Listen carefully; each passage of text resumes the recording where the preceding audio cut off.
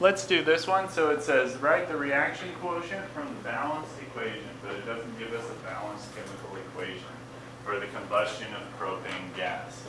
So we're gonna have to balance this equation. So we've got um, three here, carbons, so three carbons there, right? Um, eight hydrogens, two times four is eight, three times two is six, plus four is ten, divided by two is gonna be five. Okay, so that's how you balance that reaction. So now, since we have the balanced chemical equation, we can write out the reaction quotient, okay?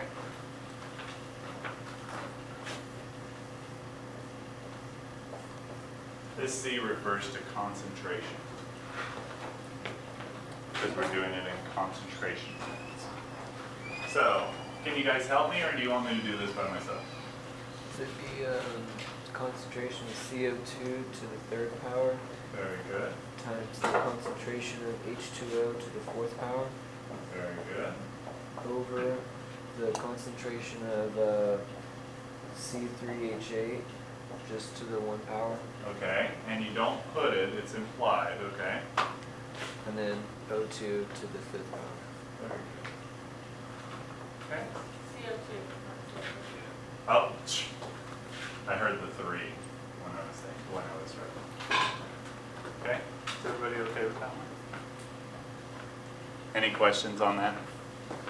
Except for why I wrote the three?